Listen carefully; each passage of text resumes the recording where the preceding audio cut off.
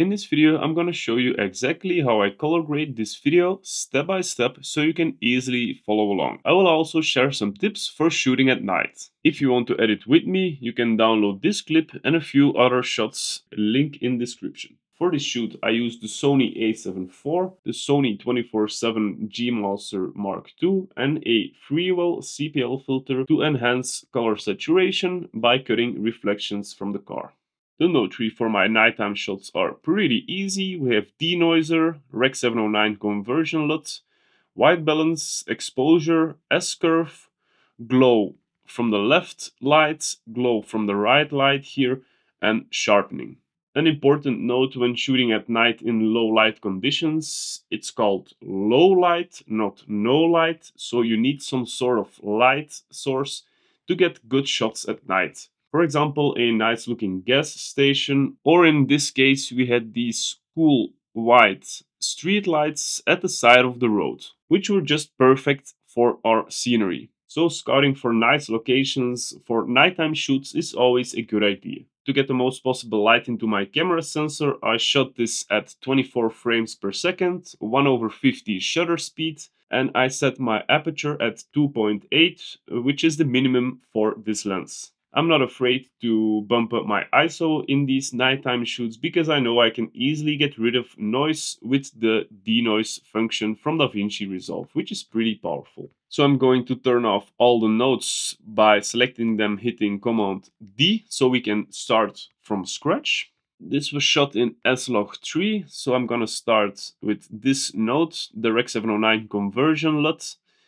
I go to LUT and I just hit Sony S-Log 3 to Rec 709.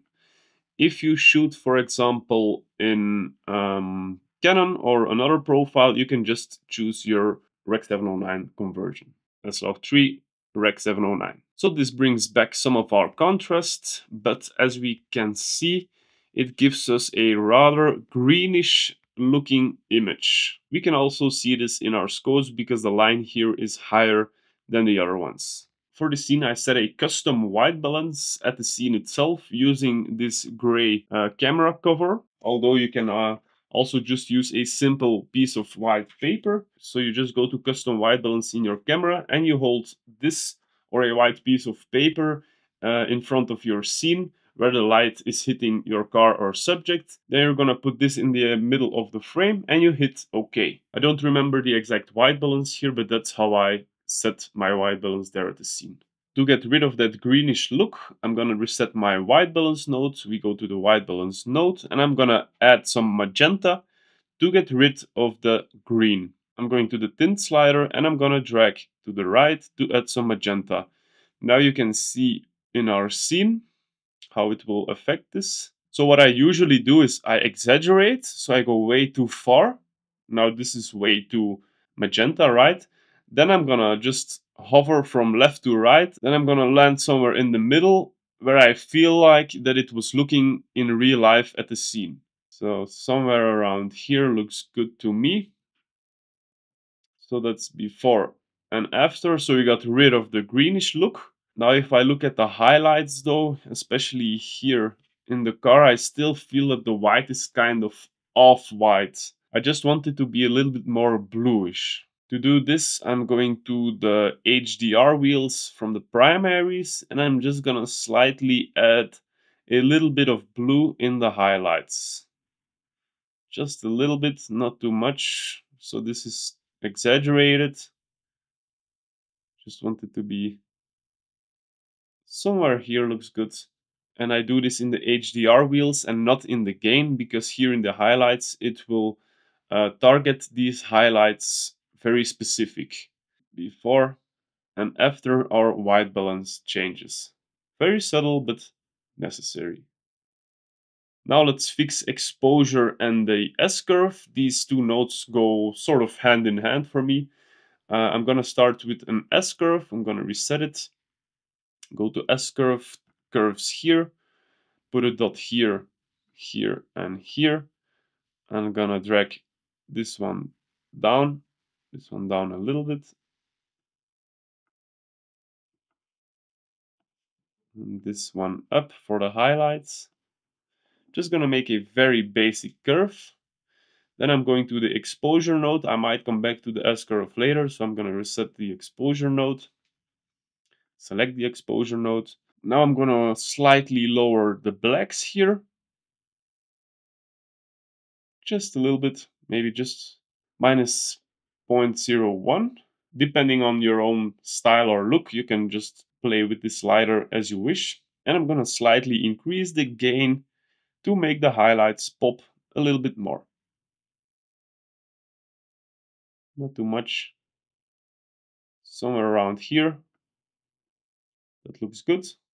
And then you can go back to your S-curve if you want and see how it looks. But this looks good for me. Just look at how the blacks here really come to life. So this is before and this is after. Just perfect for me. That's a huge difference. Now this is not standard in my node tree. I added these myself. Uh, here we have the glow for the left light and the glow for the right light. So I will just uh, reset both of them.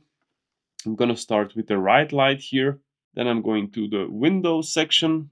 I'm going to select this one right here, a circular one. I'm gonna adjust the shape to match my lights somewhere around here. So this way we only affect the lights with our glow effect and not the whole image, right?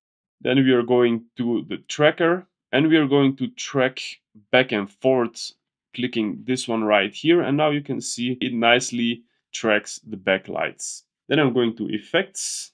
We are going to select glow and drop it onto the node. Don't worry, it looks washed out. We're gonna change the color filter to red to kind of match the colors from the backlights. I'm gonna add a little bit of gain here and I'm gonna lower the spread. This looks good for me. That's a nice glow. That looks good. Then we're gonna select this node, Command C to copy, select the left one and Command V to paste it. Then we're going to the window and we're just gonna move over the window to the other light. I'm gonna make it a little bit smaller and I'm gonna track it again. And poof, that's it. So that's before and after. This is personal preference if you like it. For me, it looks very nice. Then we are going over to the sharpening node. I'm going to reset it. You go here to the blur section and you're going to drag the radius to about 0.47. This is the number that I usually use. And if you zoom in and you turn it off and on, you see the difference here. If you want to get rid of the noise, we have some noise here. Uh, I go to the denoiser tab. Let's reset it completely. Then we go to the motion effects tab right here. I'm gonna select for this shot two frames. This means DaVinci will use two frames before your current frame and two uh, frames after your current frame to detect what is noise. I set it to better, I don't want it faster, and motion range is the amount of motion in your shot. So in this case, it's just medium to slow actually. I'm gonna set it to medium. And usually I set my temporal threshold to about 30, which is for me like the sweet spot. And then you can see the noise before and after. And it smoothens out your noise pretty nicely. Do mind that if you use denoiser, it's pretty taxing on your system when you have it turned on. Unless you have your playback render cache to smart, then it might render it in place. But usually I turn it off by hitting the number here until I'm gonna render my video, then I turn it back on. So let's see now what each specific node does. So I'm gonna turn them all off. We start with the Rec 709, white balance, exposure, S-curve, glow, sharpening, and denoise. If you are happy with the grade of this shot and you want to match other shots to this grade, you can open up your clips here in the color tab. And let's say we want to uh, match this clip to this one, I'm gonna open this button, have selected clips on. Then I'm going to hit command and this one, and then it will open up both our clips. Now what you can do is you can right click our graded clip, apply grade, and then this clip will have the exact copy of your color grade from this clip. But of course, every shot needs some refining to do because as we can clearly see, this shot is way overexposed. So we select this one. There will be a white box over it. That means everything we change is uh, changing this clip. I'm going to reset my exposure. I'm going to select the exposure. I'm going to lower my highlights here because we can see that it's clipping here clearly. Uh, and I'm gonna lower my gain as well. So something about here looks good. Then we still have to change the glow of the light. I'm gonna delete one. Then we go to our window and we just have to change the location. And that's exactly how I grade every single shot on its own. So that's before and after your color grade. If you want to learn how I color grade my daytime footage, make sure to check this video.